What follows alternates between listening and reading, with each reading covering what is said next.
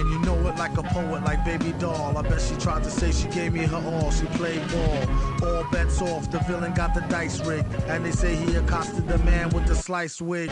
Allegedly, the investigation is still ongoing. In this pesky nation, he got the best con flowing. The pot doubles. Now they really got troubles. Madman never go like snot bubbles.